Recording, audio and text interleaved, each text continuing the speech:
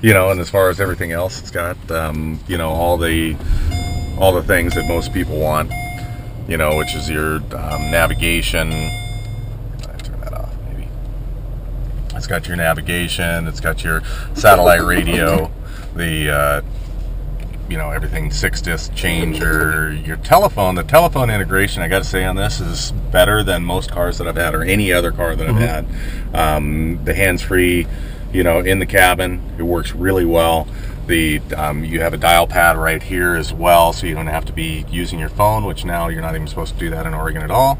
Um, you know you've got everything uh, just right there for you. On the wheel you've got your hang up your you know your dial and hang up it integrates with if you have a phone with an address book in it all of them load to the phone. And the thing that's kind of impressive about it is the um, it connects really quickly i mean i've had cars before where there was a 10 or 15 second well from the time you started it up till you got going before it would connect and inevitably what happened is you'd get a phone call when you were getting in the car and it would go to voicemail before it connected up. Oh. And it seems like a minor thing, but that's kind of those little things that sort of make you like the car, you know?